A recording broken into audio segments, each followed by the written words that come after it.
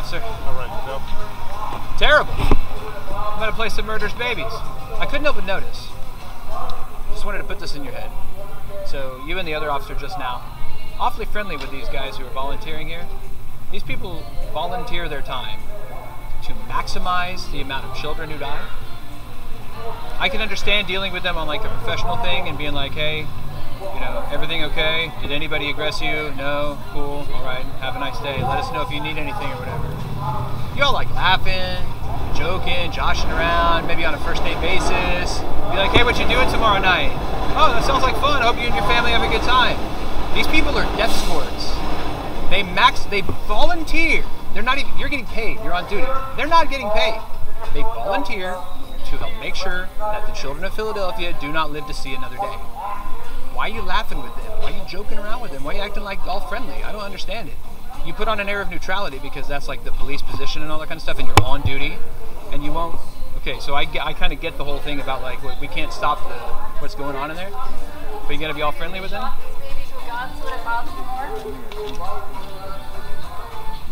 Look how friendly they are. The officers I are with the desk guards.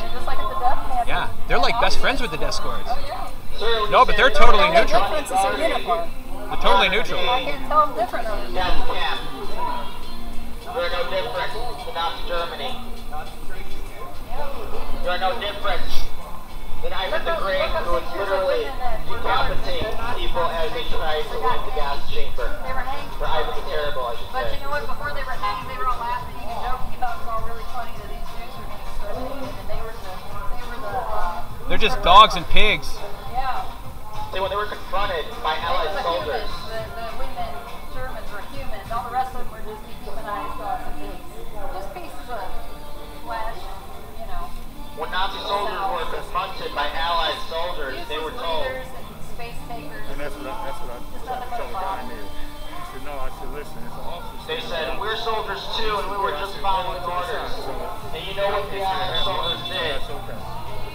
I don't, I don't They took the I from them and said, you you are not a soldier, you are a prisoner. And they were still found guilty for their war crimes. Yep. They were still I found don't guilty think I've seen a more wicked thing than my place. eye is laying upon right now, watching a senior officer walking around here protecting people committing murder against innocent human beings in the womb. Wicked.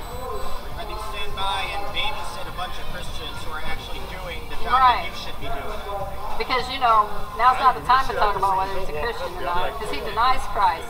You're a Christ denier. And Jesus said, You deny me, I'll deny you before my Father and his holy angels. And you know, Jesus is coming back in a fiery flame with his holy angels to ret- bring retribution and vengeance upon those who do not obey the gospel of God. So like I was saying, Now, I kinda- Let me, let me, some of my friends will be a little bit more upset, like with you not running in there with gun drawn. I kind of get it. but let me, let Why me, do you- let yeah. me interrupt you for a second. Yeah, please. And I'll tell you the same thing I told somebody else earlier today. I'm out here every day. I'm not here to defend the clinic.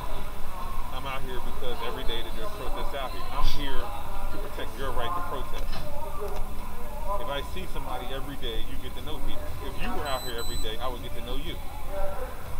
But You know- why would you get to know somebody who volunteers to come murder Listen, babies? You listen. You can see it any way you want to see it, and I can see it any way I. Well, what would be the way to see it? Everybody has their own opinion about different things. Just like the, at the other clinic, at the other clinic, a couple of my officers Yeah. went up and spoke to a couple of people that were out there protesting. You didn't have a problem with that, but you have a problem with this. You your opinion about things, and somebody's going to disagree with that. Okay. I don't discuss my personal feelings. I don't discuss my personal opinions about what goes on here or anywhere else when I'm in this uniform. So,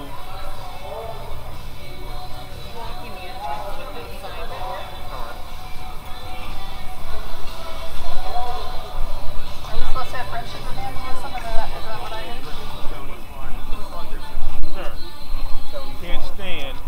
directly in front of the entrance with the sign. You have to move off to the side, or you can turn Sir, around. this to- is a public sir, lot. This is a public Sir. sidewalk. Dude, there is no one going through. We are moving out of the way Sir. when people Well, go he to stands and up for a from. space of sidewalk, but he won't defend babies. Can't stand. Y'all are so concerned about a little piece of concrete real estate. Like that's the end end of the Do world. not touch my property. Little piece of concrete, why babies are being ripped apart, laid to limb, and sucked up by You were just talking about how you defend our rights here. You know what? Listen, move out of the way. What you're concerned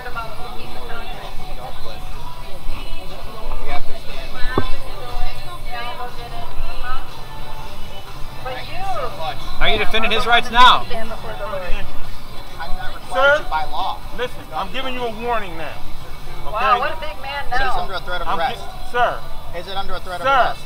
Are you going to arrest him? I'm giving you a warning. Is this under a threat of Sir, arrest? I don't want you to block the entrance to the clinic. I'm asking you to move out the way of the entrance to the clinic Is this under with a your threat of sign. arrest? You can stand on the other side. What happens if I do not move, sir? sir? You can stay on the other side. Why wouldn't he answer the question? Okay, well, unless He's I, been asked five unless times. answer that question, I'm not going anywhere. Can you please just ask him to answer the question? It's a simple question. I'm gonna. If he doesn't move, I'm gonna lock him up. So he is going to arrest you. I'm asking you to move from in front of the entrance with the sign. So he's going to arrest you if you don't move. to the side, or you can go to the other side of the entrance. Yeah, because a piece of concrete matters more than babies being ripped apart today. We're all so big and defensive of a piece of concrete. Yeah. Protect the baby. Hey, thanks for protecting our rights, buddy. Yeah. It's a pepper. It's okay. I'm protecting you. He literally said two minutes ago he was here to protect our rights. Now whose rights are being protected? I protect everyone. This is our sidewalk. This is our sidewalk. And the sign is blocking. Nobody's blocking entrance access. Nobody's walking by. Nobody's blocking the access. How obtuse are you, man? And your demonic Do Black lives matter? Black lives don't matter here. See, this is the illusion of neutrality. You were telling us about how you were neutral because you're on duty and all that kind of stuff, but look how he's coming up on us. Now he's all friendly with the escorts here who maximize the murder of babies. And then he's like, hey, you can't. Oh, there's a little bit of you know room over there. You're not you're not here to defend our rights. You're here to defend them, aren't you? Wouldn't you say that's true?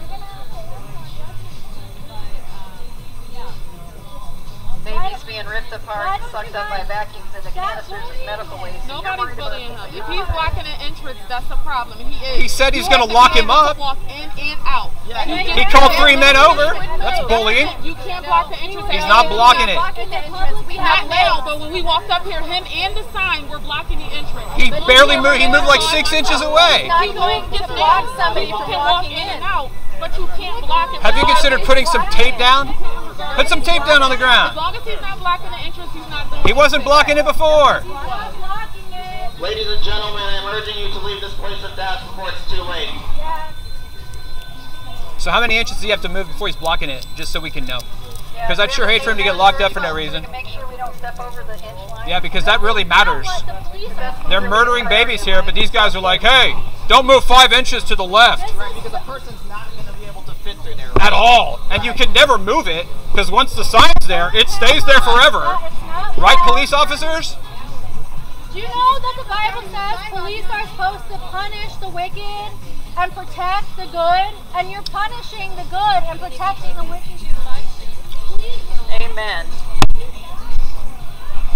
So, you know, you were telling me, like, literally two minutes before. I'm done. Just talking. 30, Ladies 30 seconds. Well, gentlemen, then I'll just talk to you then. you Then I'll just talk to you. You are in the exam You're all friendly with them. surgical room. You told me that you wanted to defend our rights. That's why you're here. Have mercy on your child's And then, the very next thing that you jumped to was to go give my brother crap for just moving a slightly into the way that you found to be objectionable or whatever. That makes you a hypocrite, my friend. You put on a- sorry? How so?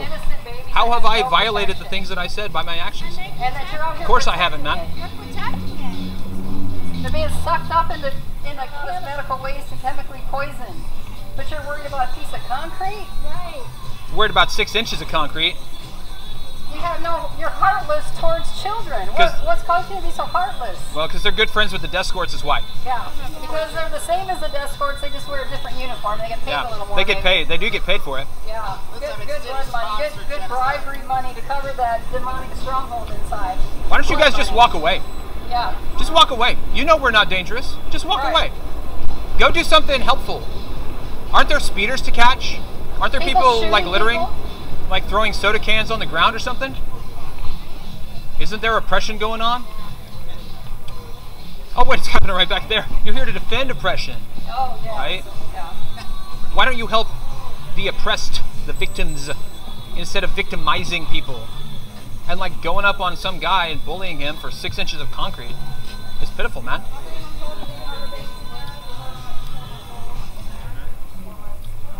like, it's probably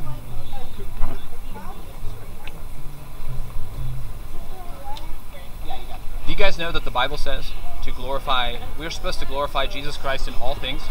People are disgusting. How so? Glorify Jesus Christ in all things, whether word or deed. Jesus said that all authority in heaven and on earth was given to him. So, since Jesus has all authority and since we're supposed to glorify him in everything we do, that includes on the job. You know?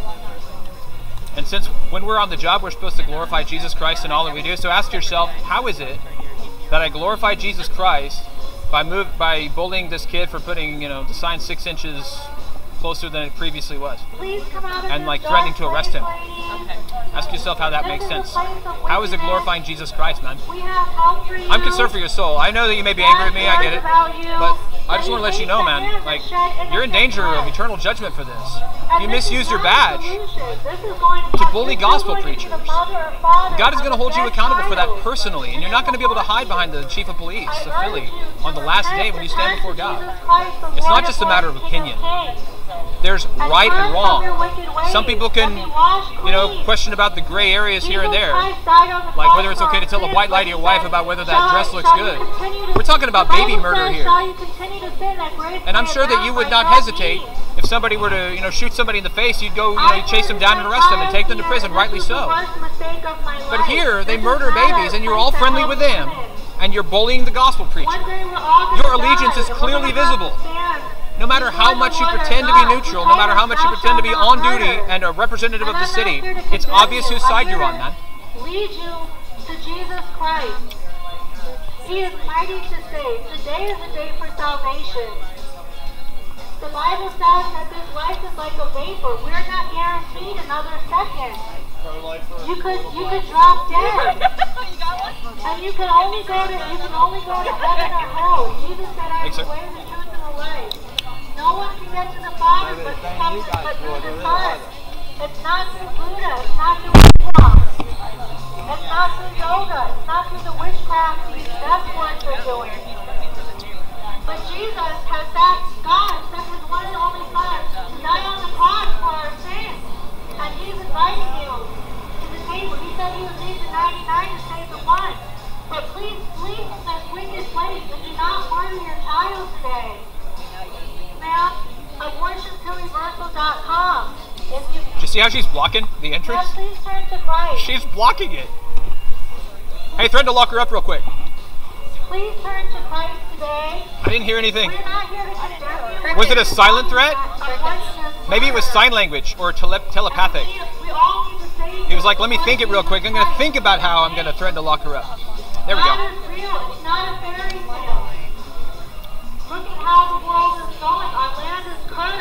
By this innocent blood being shed. So I just urge you, moms and dads, please have mercy on your innocent child. Please don't be selfish. And we used to kill babies for crops on the on the altar of Baal and Moloch. And now you're killing babies on the altar of convenience and for wealth because you think that your life cannot be successful with a child.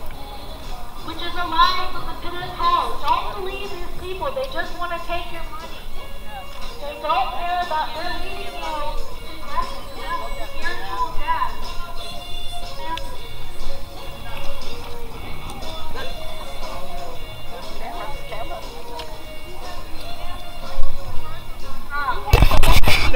Step back away from the doorway. He was gonna let her through. But He this was gonna let her through. you have the authority to protect the people. Well, I have You it have on the video. authority talk to to her protect right the now. You want to stand right here on the side entrance, leave the entryway open, you can stand there. There were two of you standing here. I want the entryway to stay open. If you can't do that, then I'm going to start locking people up. You're Sir, blocking I'm asking you not to block the entrance. If you want to, sir, I'm not going to argue with you. Do it again. I'm asking you to do your job Stand in front and do what again. you I'm not going to argue with you. obligated to Stand do again as an because I'm going to lock you up. It's your job as an officer to do your job and make sure you don't touch I'm going to lock you up. I'm not playing. I'm not. I'm tired of. I'm tired of having this conversation. Yeah, we're tired of having the conversation too. They're trying to suppress the truth. He's gonna he's gonna arrest you. So you just you know judge whether you want to be in jail or whether you want to be free for later events. You know. Right. He's agitated. Done with us from the beginning. you know? Pretty pretty agitated now. It's not worth it. You're doing a great job. Black people supporting I would agree. Probably not worth getting arrested for. That's not the the fulcrum of the battle. You you know what I'm define saying? Like, blocking? We If already. that was in my hometown and urging you. The Lord your maybe- Yeah, "Love I'd be able to with do all it. your At the same time, like the, Jesus, Jesus is Lord. And you know,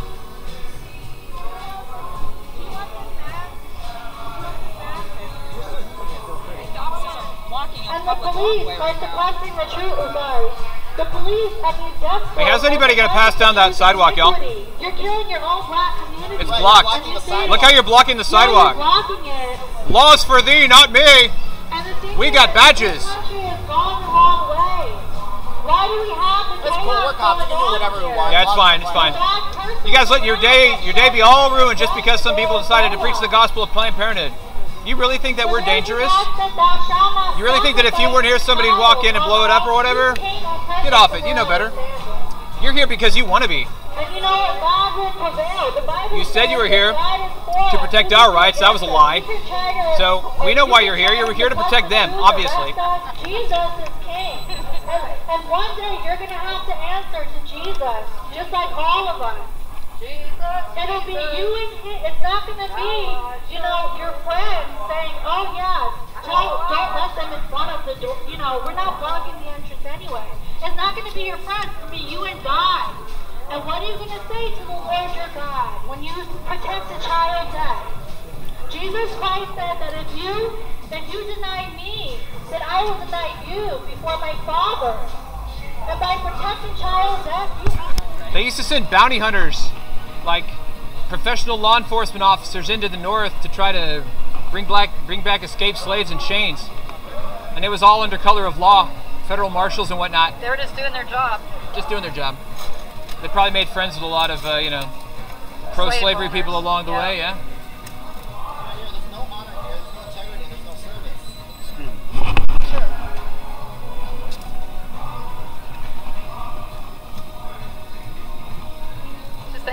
About when you lay your head on the pillow at night. Don't, don't, don't For what? For what, man? They help murder babies. They help murder babies. Yeah, God's not mocked, my friend.